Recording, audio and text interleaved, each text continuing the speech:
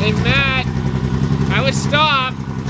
Hey all you people, what's going on? Welcome back to the channel. I've been trickle charging this 2006 Honda Pilot behind me because you know what we're gonna be doing? We are gonna be getting this back up and running today.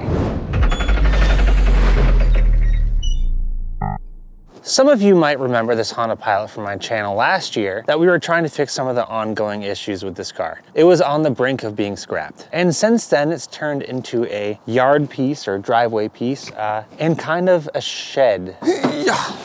Last time it was on the channel, it was misfiring all over the place. So I had seafoamed the engine, taken off the valve cover, tried cleaning some of the ports and passageways, and uh, we also changed out the spark plugs and ignition coils. But that didn't seem to do too much. And when I put this up on the jack stands, it also appeared that the four-wheel drive wasn't working properly. So I put out that video on YouTube, asking what people thought was wrong with this pilot. Yeah, there's a variety of comments, a lot of people's opinions of what could be wrong with this, and they're probably all correct. There's everything wrong with this right now. But the two things I decided to tackle first were the EGR valve, very easy to replace. I bought that online. It was probably about $80. And that's uh, an exhaust gas recirculation valve. Um, and that can get old and brittle and get clogged up. So that's a common issue on these 3.5 liters. Another one is the, the rear differential oil temp sensor.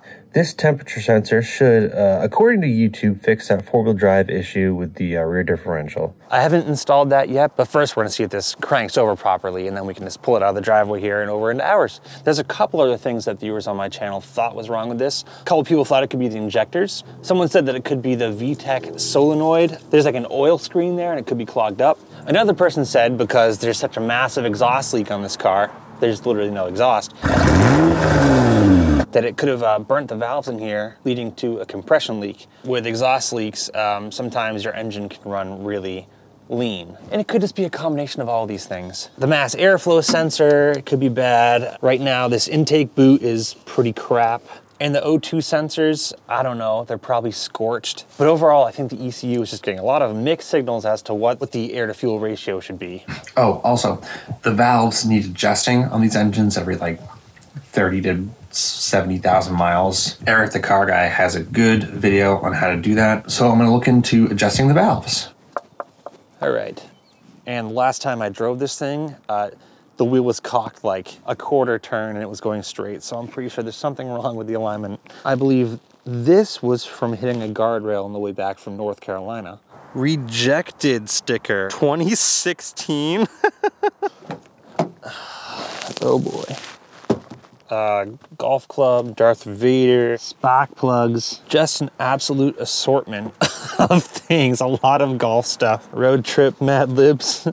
the mirror is broken, so this is holding it in place. It also kind of smells like there could be a bit of a water leak in here. I was researching that and yeah, I think that's water leaking in. It could be through the sunroof here.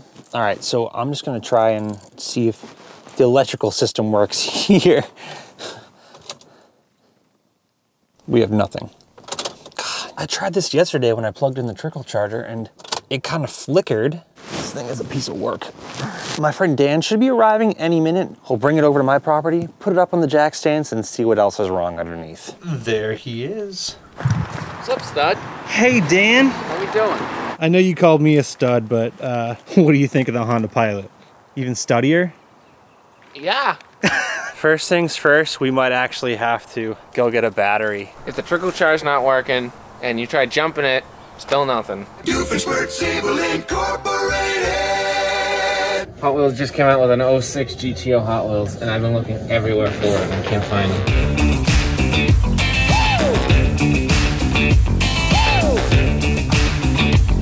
Hey, we got a light. Nice. You ready for this? Let's do it.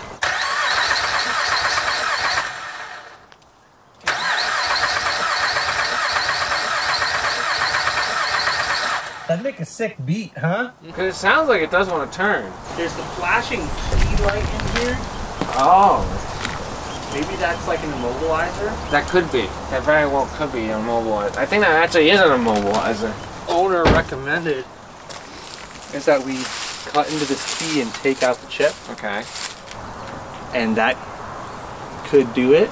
It's aftermarket key. If the immobilizer light is flashing on the dash, that's why it's not starting. I, I learned that in uh, in Florida when Hoovie tried to start his Ferrari.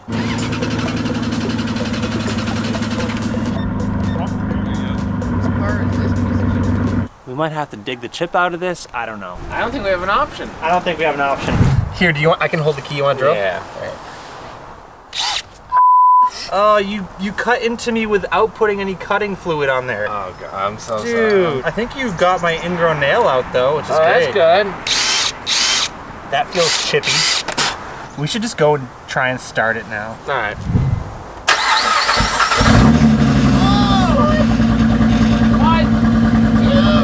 I was not expecting that to work. Oh, Snooky.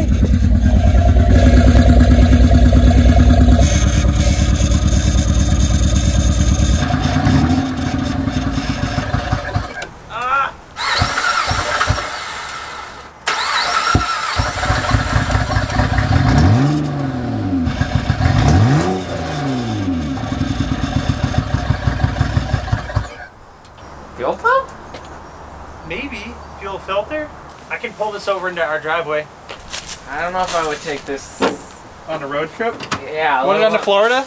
I don't know if I'd even take it oh, all the way to Stop and Shop.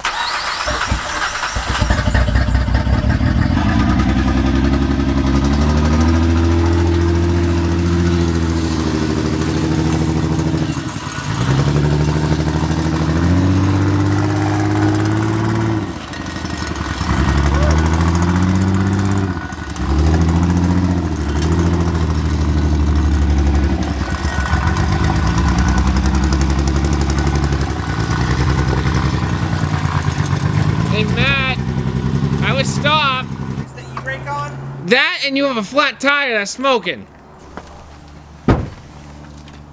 And there's a shovel. Where'd the shovel come from? Did you put that There? No, I didn't put the shovel. Oh, this is to dig the grave for the pilot. That's what it's for.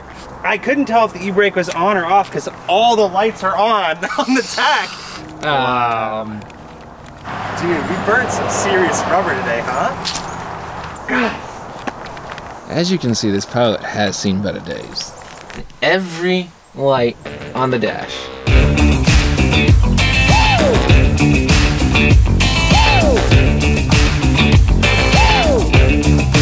Everybody get up. Everybody get up. So what have we got going on underneath this thing? Not too much rust on the frame. Right here you can see the end of the sway bar and there's no sway bar end link. So that is absolutely leading to a messed up alignment. The CV axle boot right here is very ripped. It was held on by a hose clamp as well as, I don't even know what that is on the other CV axle end.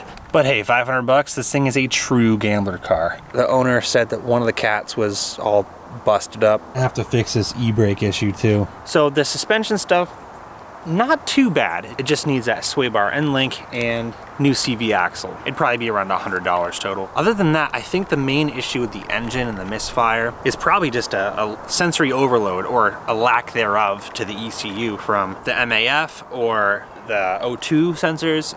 Know, your guess is as good as mine. Now it's not starting. I, all the power, the windows work, the windshield wipers work. I wonder if it's the starter. Because it hasn't been started in like a year. I don't know what this is. I think it goes to an old tent. It's not gonna be heavy enough. Alright, let's see. I doubt that did anything. Yeah. Nope.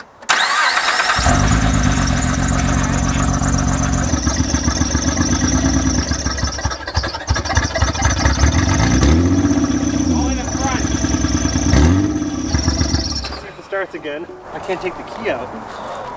I can't take the key out of it. Oh, did you put it in park? Oh shit. Did I? No, I didn't. There you go. You're a smarty. That's why I hired you. Oh, thank you. what are we gonna do with this guy? When's the gambler? I don't know. What is the gambler? I think this is gonna make it. No, it's not gonna make it to Oregon. Guys, if you want to do Oregon, you have till June 25th. what about the New York one?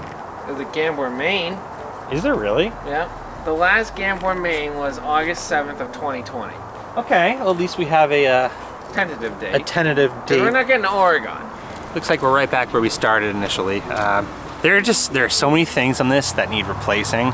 It's overwhelming, actually. But hey, at least we have a tentative date that we should get this fixed by. And contingency, August, the main Gambler 500. Let's get to researching and get to getting some parts for this thing. All right, so look out to the next episode of this where I try and make this work better. Dude, this thing is, until then, take care now. Bye-bye then. What if we see like the one kid in this aisle and he's holding the GTO Hot Wheels? Would you jump him? Yeah, We'll give him ten dollars for it.